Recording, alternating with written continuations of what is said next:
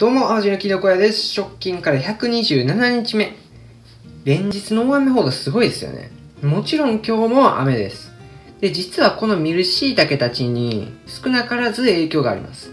温湿度計を見てもらったらわかるんですけど、だいたいいつも26から27度あたりで湿度は80%前後と変化がないんですよね。これいつも朝に撮影してますが、日中とか晩とかもそんな変わりません。さらに部屋の中で風も通りにくいとなると、椎茸原木の環境変化というか刺激がかなり少ないんですよね。これが1ヶ月単位で続いちゃうと、椎茸菌は弱り始めて、最終的には死んでしまいます。やっぱりこの雲がかかってると日中の温度差がないですし、雨が降ってると常に80オーバーですから。で少しね、梅雨明けが待ち遠しいっていうところですね。椎茸キャラ図鑑は今後も増やしていきますので楽しみにしていてください。128日目。今日も土砂降りですね。いつまで続くんやって感じですがやっていきます。今日はくるみちゃんポチ5の様子を見ていきますね。でくるみちゃんはラップで包んでたこともあって、上側や側面の下の方に一部カビがありますが、表面だけなのでそのままにしてます。で、椎茸菌も健康そうなので、カビが飛散しないためにもあまり触らないでおこうと思います。はい、次、ポチですね。ポチはこの前、ひび割れの動画で割れ目に水をかけた木ですね。相変わらずひび割れてますが、今回はスルーして健康確認です。穴もへこまないので、くるみちゃん同様にいい状態です。最後に5ですね。5は見た目も綺麗ですね。この虫に食べられて残った同時飯もそのままですね。押してもへこまないため、健康体そのものです。はい、3つともいい状態でしたね。しいたけキャラ図鑑はシッター家を追加しました。子供をあやしているように見えるので、ベビーシッターとかかってシッター家です。今後も増やしていきますので、楽しみにしていてください。129日目。今日からそれぞれの木を水につけた場合、何個ずつ発生するかを予想していきたいと思います。まだ80日前なので何とも言えないのが実情ですが、発生する時の楽しみが倍に増えそうなのでやってみたいと思います。今日は前回も出てくれた5の発生予想をしていきますね。穴が4つなので、0から4の5択なんですけど、これ非常に綺麗に回ってるんですよね。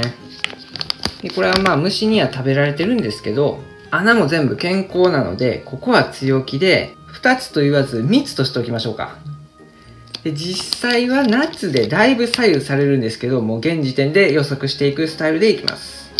ルールとしてもし1つの穴から2つ出た場合は、もうそれは2つとして数えます。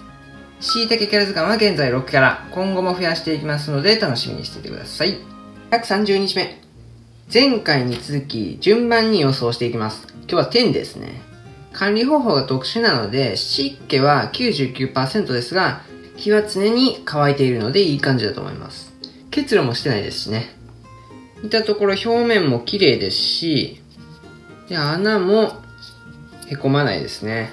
で、上も下も綺麗です。で、穴はいくつあるかというと全部で8個あります。点は好条件なので、5つ生えてくるにしていきましょうかね。いや、男やったら7か8行こうぜっていう方もいると思いますが、現実的に考えて発生率9割以上っていうのはほぼありえません。超優秀な原木でもおそらく無理なんじゃないかなと思います。まあ、弱腰ですが、以上の理由から天の椎茸の発生数は5個と予想させていただきます。椎茸キャラ図鑑は現在6キャラ、今後も増やしていきますので楽しみにしててください。131日目。これ関係ないんですが、温湿度計落としてから、湿度の部分がだんだんと消えてきました。これちょっと心配ですね。まあ、気を取り直して、今日はまっちゃんですね。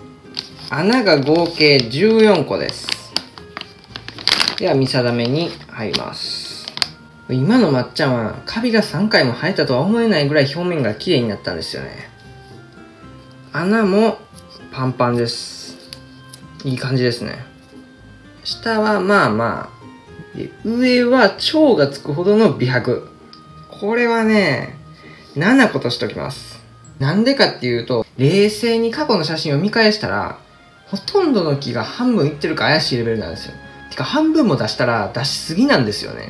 で、椎茸一個一個が大きくならないので、これ全部ちっちゃくなってしまいます。だから昨日まではちょっとテンション上がってて、自分を見失ってました。なので、7個としておきます。椎茸キャラ図鑑は木のスーパーレアの富士壺竹が追加されて、現在7キャラ。今後も増やしていきますので、楽しみにしていてください。132日目。今日はポチですね。ポチは穴が合計15個あります。では、isa ざめに入ります。表面は一見綺麗ですが、一部怪しい部分がありますね。まあでも、穴は凹まないです。そこはこの一部分を除いて素晴らしいですね。上は以前より日々がマシになってるような気がします。はい。これらの条件を総合的に考えると、全部で5つですかね。15分の5です。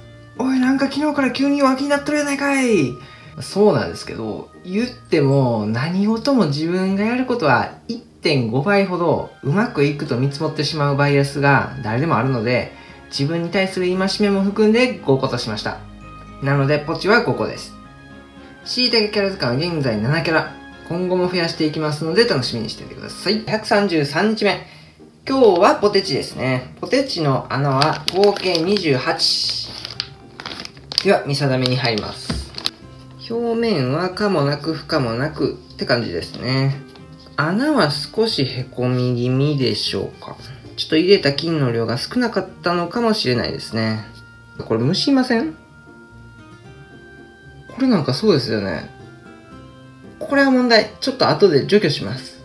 上は椎茸菌が綺麗ですね。穴が28個と多いんですが、8個ぐらいと予想します。はじめ11いこうかなと思ったんですが、もう虫を見つけた時に3減らしました。なのでポテチは8個椎茸が出てくると予想します。昨日も前回に続いてスーパーレアの糸椎茸が追加。まるで娘がヘアアクセをつけているように見えて愛しい様子からつけた名前です。椎茸キャラ図鑑は現在8キャラ、今後も増やしていきますので楽しみにしててください。はい、今日は以上です。新水日まで76日、ミルシイタケのビデオログを毎日更新しているので、チャンネル登録をよろしくお願いします。グッドマークありがとうございます。ではまた。